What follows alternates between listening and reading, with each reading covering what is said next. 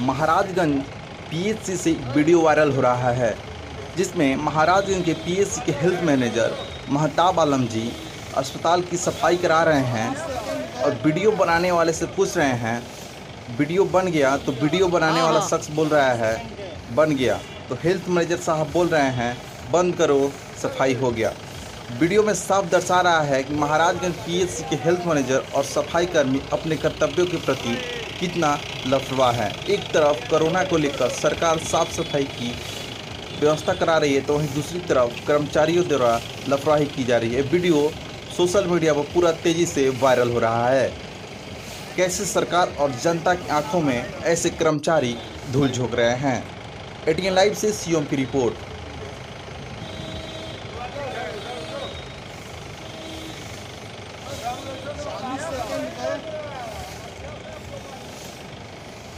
हाँ हाँ। चालीस सेकंड के।